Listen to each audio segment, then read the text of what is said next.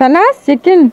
Sana was an excellent cook. One day her master told her to roast a chicken for dinner as he invited the guests.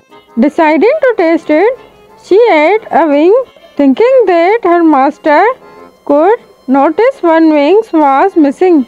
She also ate the other one, but she kept eating till the entire chicken was over.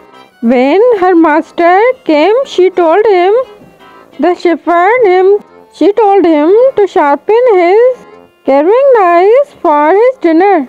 The guest soon come.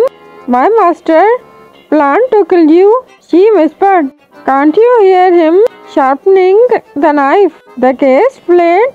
She went to complain to her master. What a strange guest you invited. He came, grabbled the roasted chicken and ran away.